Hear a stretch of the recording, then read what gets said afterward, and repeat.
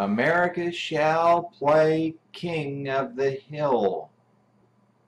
The Lord declares to America, O nation high and mighty, head of all the nations, have you heard of the game, King of the Hill? Learn to play it for keeps, America. For the other nations who hate and abhor you are about to try to knock you off the hill, so to speak. As head of all nations in every way, shape, fashion, and form.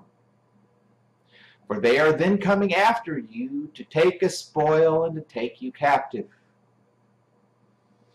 Call upon the Lord your God, and I, and only I, will save you, O America.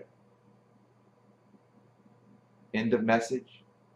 Thusly says the Almighty Lord God has spoken and written this day, date, and time of Friday the 13th of January 2017 at 12:46 a.m.